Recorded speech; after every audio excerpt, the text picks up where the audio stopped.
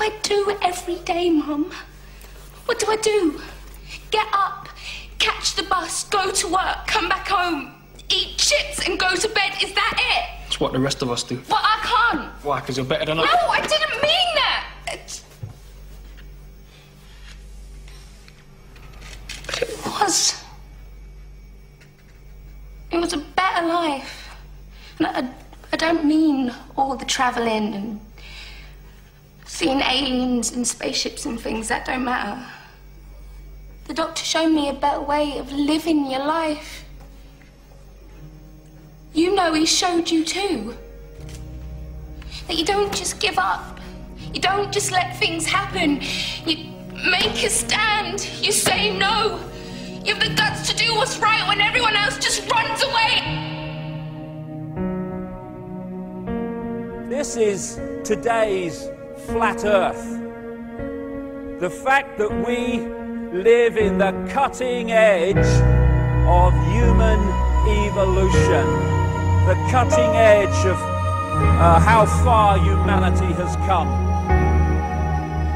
Turning a planet of enormous beauty into a shite hole ain't the cutting edge of human evolution.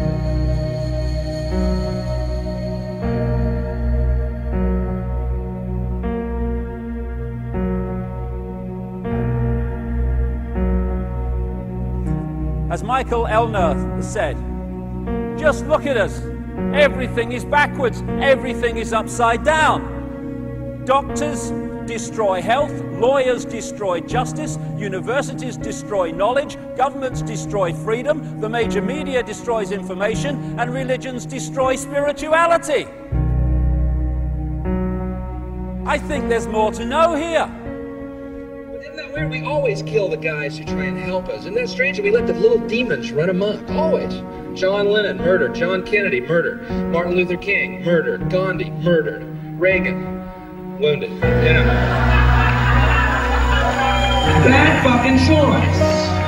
um, you find that people that are in positions of apparent power, like prime ministers and presidents, are actually um, puppets of the real power which doesn't put itself on public display. Why would it?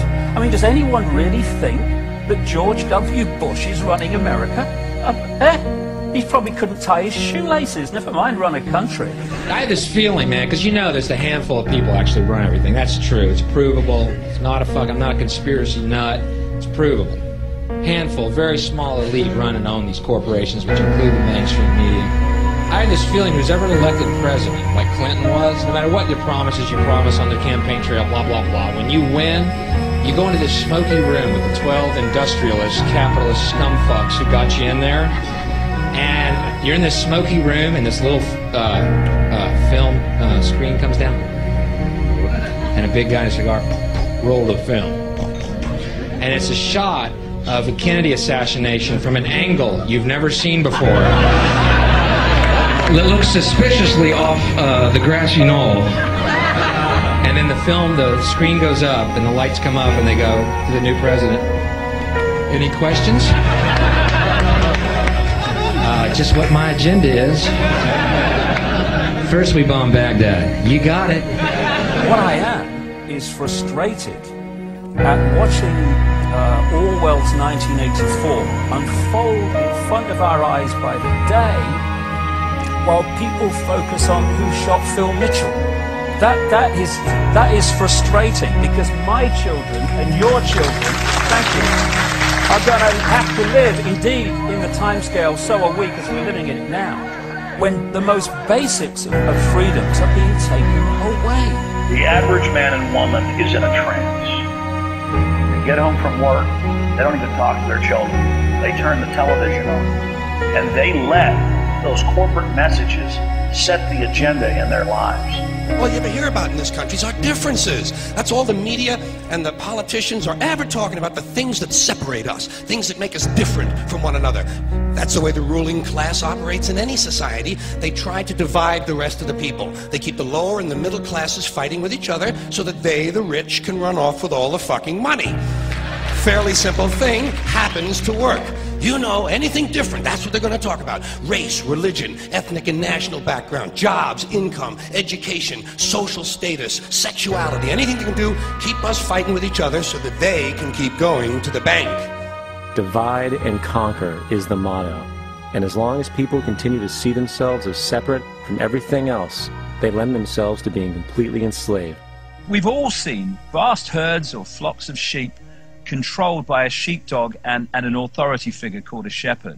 You imagine if just a significant number, not even half, of those sheep said, We're not going to uh, succumb to fear of, uh, of the sheepdog, um, and we are going to go our own way. And those sheep start going in their own way, they start expressing their uniqueness, and they stop acquiescing with the authority figure and succumbing to fear. Where's the power of the shepherd now? Where's the power of the sheepdog now? It, they have no power except in um, acquiescence by the mass of the sheep to the perceived power that they have. We need, we need to start seeing humanity in these terms very, very quickly. I've seen these ants do great things. And year after year, they somehow manage to pick food for themselves and you. So who is the weaker species? Ants don't serve grasshoppers. It's you who need us.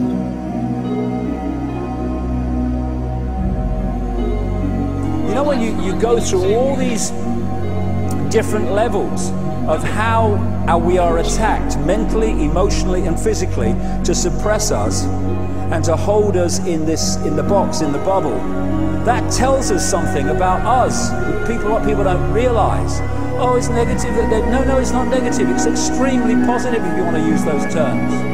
Because it's telling us who we really are the level of suppression on multi levels, in multi ways, that they've had to go to and continue to go to to hold us in servitude shows the, the, the potential and, of, of, of genius and magnificence that we really are. And that's our natural state. This is the difference between the power of the, our Creator and anything else, particularly evil. You can go into a pitch black room full of evil, full of darkness, and light a little candle, and instantly that darkness flees. But you can't do the opposite. You can't go into a well-lit room full of truth and wisdom and righteousness and joy and health and harmony with the universal power.